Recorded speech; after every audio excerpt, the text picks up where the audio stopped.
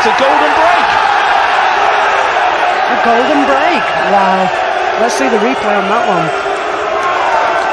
Well, we talked about the standard improving. You can't get any better than that.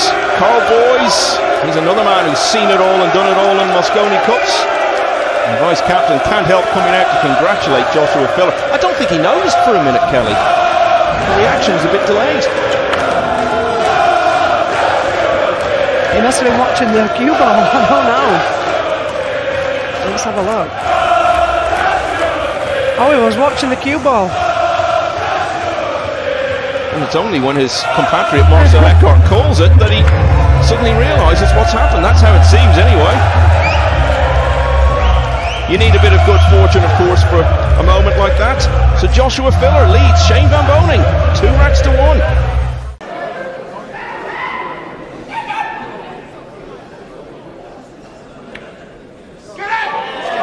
Yeah, he was able to put everything into the pot because of where the eight is. And a sense of inevitability about how this one is going to turn out now. It's going to result in Filler moving to the hill. So three racks in a row go against the break.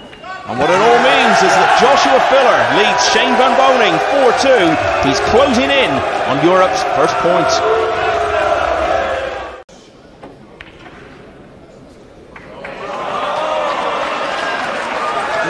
Shot.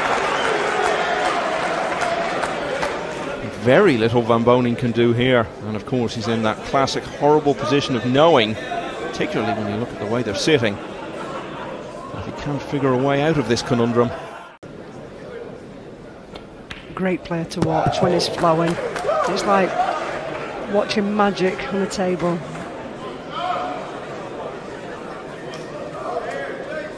He's using that cue like a wand now. Alex Lely, Karl Boyes, the brains trust of the European team. Looking a lot more relaxed now. What a finish we're going to have to the evening. Filler can finish this off, and final doubles will be to decide whether USA lead overnight or Europe can get back on terms. But still a little bit of business to be taken care of here. I think Filler's smile says it all though.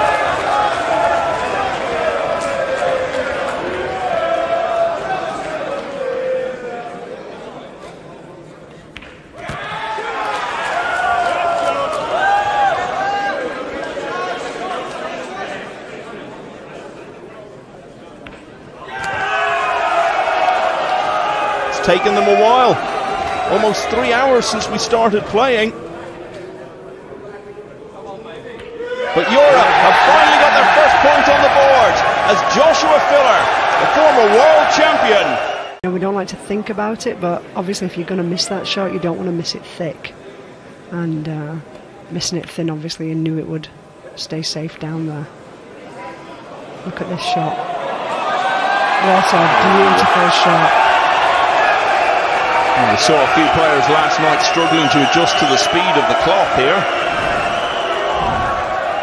No suggestion of any such difficulties for Filler there. And you've got to love the body language and the confidence of the way he sits down, folds his arms as if to say, have some of that, Tyler. When normally, under any normal circumstance, he'd knock it in, no problem. This is not normal circumstances here at the Mosconi Cup at Ally Pally.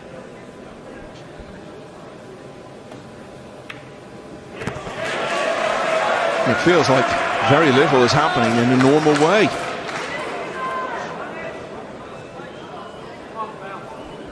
Well, a beautiful shot there, and look where the cue ball's landed. Again, much like Styer in the last track, isn't it? Awkward bridging. Handled that well, though. Yeah. Just worry about. We'll just Yeah, yeah, yeah. Got 10 seconds. Yeah.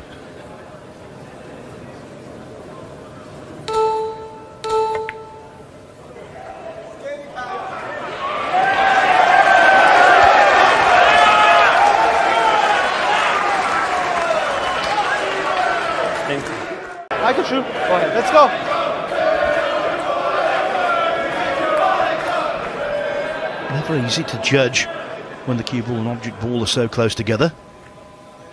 Filler's already missed one six ball to that pocket, but he didn't miss that, and now surely 3 1 very much on the horizon.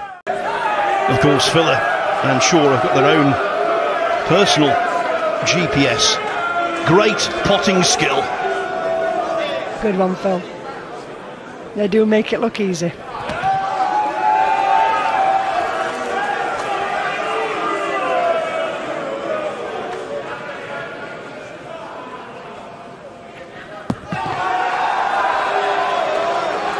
Oh dear. Maybe if that had been on day one, I think we could have seen that go, roll all the way in to that bottom pocket.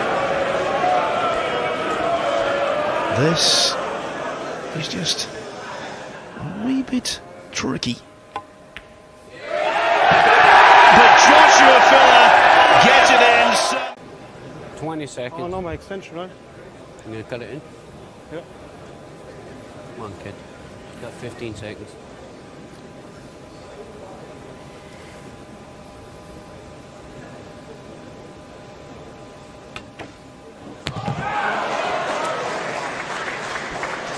No problem to Joshua Filler. go, Jayson said, Are you going to cut it in?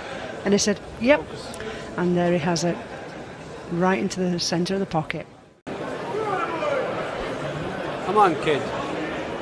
Well, I think it'd rather have been a bit higher up that cushion with less angle on this. But it is the natural angle. If he makes the eight ball, the cue ball is naturally coming down for the nine.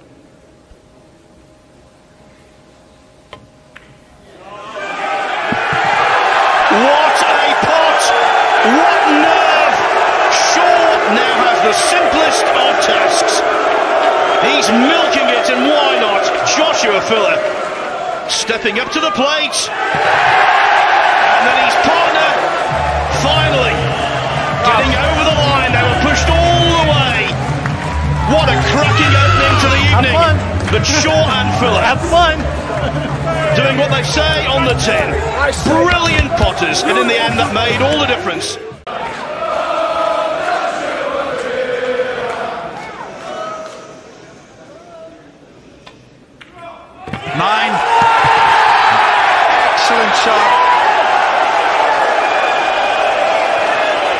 Here comes the energy.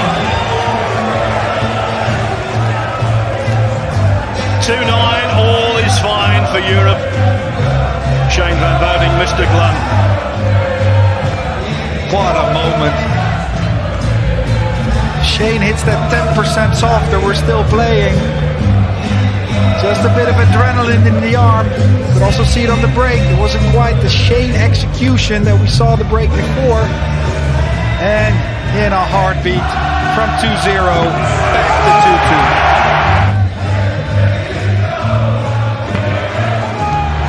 2-2. Joshua Filler's got this tremendous half cue will travel attitude. He goes all around the world, uncomplaining, loves the life on the circuit, loves playing pool, loves being one of the game's top dogs, and he's made for this kind of environment. Luckily for him, that 4-9 is sitting there. Wow. Hit that excellent. Remember when they're so deep in the pocket, it's hard to get them out on the new cloth. You have to hit them harder, and here's the 4-9. What a combination, what a night, what a turn of events again. This pendulum is working overtime. That time Filler went for the cut shot. And he's on the three. What a shot. That never looked on. When you put a ball like that, you deserve position. What an absolute Christmas cracker. That was paper thin. That's too far. Can he hold it for a good angle? I think he's just all right.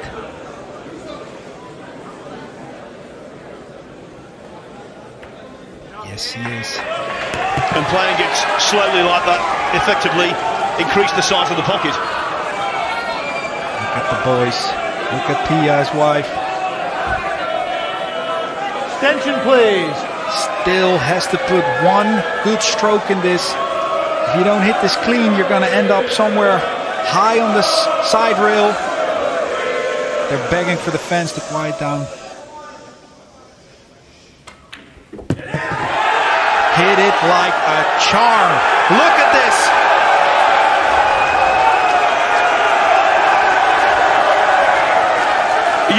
get ready to celebrate. This place is going to erupt. We're going to see a whole lot of jumping in about five seconds. Is there a roofer in North London? Because this one